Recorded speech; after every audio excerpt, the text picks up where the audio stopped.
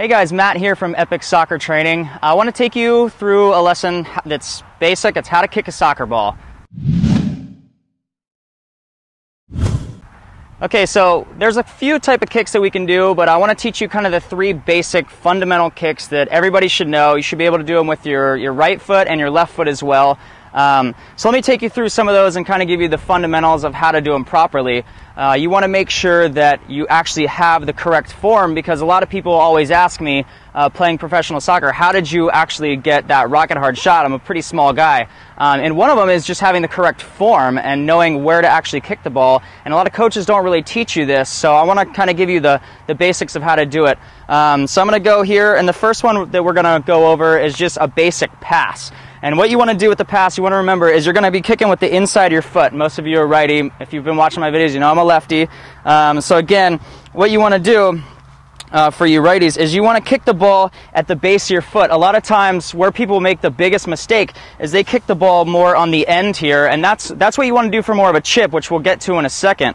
Um, but what you want to do is you want to hit it at the base of your ankle because not only is there more surface area, but you have more power because it's where your your foot can actually lock in place. So what you want to do is you just want to lock your ankle and you you just kind of want to drive through. You know, don't just hit the ball and stop but get your foot in and really drive through. So let me show you one right here. Um, when I kick it to Chaz, is uh, you know you want to put your foot up, lock it, and follow through. And it should just be a good one on the ground. And again, we can get some loft too, but we're gonna work on that one in the second one. So here you go, Chaz. Can't wait to see the comments for this guy. Um, okay, so again, if you're going uh, if you're going right-footed here, so you guys can see, you're going to lock your ankle up and you're just going to drive through. So give it a nice little, uh, you know, a lot of torque, a lot of quick, you know. So hit it, hit it at the base of your ankle. Here you go, Chaz. So again, and that's that's one of your your basic passes. It's going to be uh, very effective, and it's going to leave your uh, teammate with an easier ball to trap. Now the next one here, the next one I want to teach you is going to be just a basic chip, and that's where we're going down the foot more to where you're getting to uh, you're, it's, it's like a golf motion. You want to go underneath the ball and just kind of sweep underneath. And you want to do that more with your toe. So as I come through, you want to be on the inside part of the ball. Whereas when we did a pass, your foot is completely behind the ball in the ankle. See, your pass is going to be like there. Your chip is going to just be kind of, your chip is just going to kind of be swiped underneath like a golf club, you know? So again, and one of the easiest ways to do that is actually take your foot and instead of leaving it flat, you actually want to kind of tilt your foot up a little bit and lean back so you can really get under it kind of like a golf club. So again, let me kind of do a quick chip for you. So again, when I do a chip, I like to chip on the very inside of the ball. And you want to just lean back, drive through it, you know, and you'll get that little backspin. And again, you know you have one of the better chips. That one had a little bit of curve, which you know, when you want to start getting into, into bending a ball, you know, you're going to start seeing the, the spin go this way. Let me see a ball, Chaz. But until then, what you want to do to get a, a nice ball, let me actually see if I can chip it up top, is you want to just drive through and just get a plain backspin.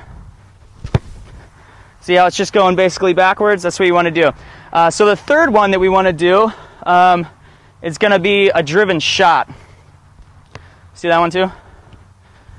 And what you want to do with the shot is okay, so just to recap, we have the ball here, that's a pass. On the inside, that's more of that backwards chip that we want to get.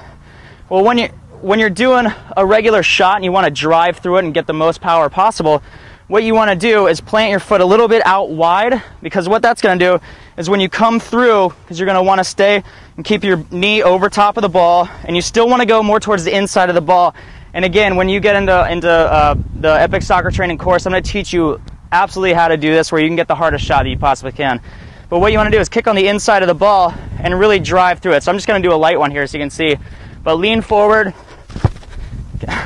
kick it on the inside of the ball, and then as you, if you want to keep going up more, you know, just just go up on the ball. So that's just a light one right there.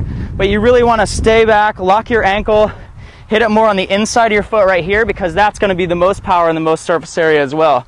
See it? So again, I want you to work on those three things. Work on them with both feet. That's a lot of the problem with most people is they don't work on it with both feet.